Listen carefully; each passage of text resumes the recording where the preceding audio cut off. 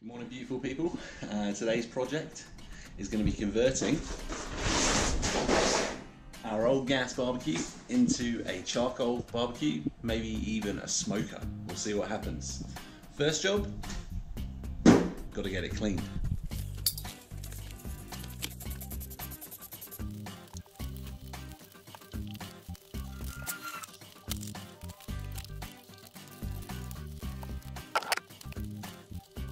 So I thought I'd give you a quick overview of the inside, the guts of this barbecue before we take it apart. Now the burners on this side are good, so I might keep them there, um, and I might use this old kitchen tray that we've got.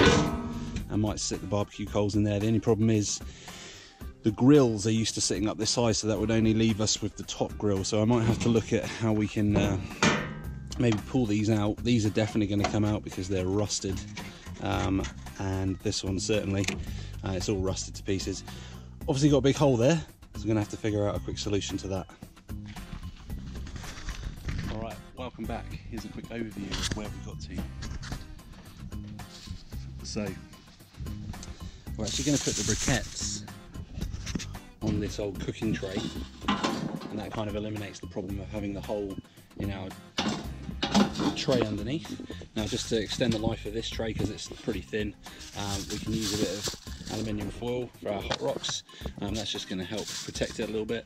Now I've got these old racks here. Now what's quite good about this is we can get a bit sneaky and we can actually use the vent holes at the back to give us some different levels of direct heat cooking as well as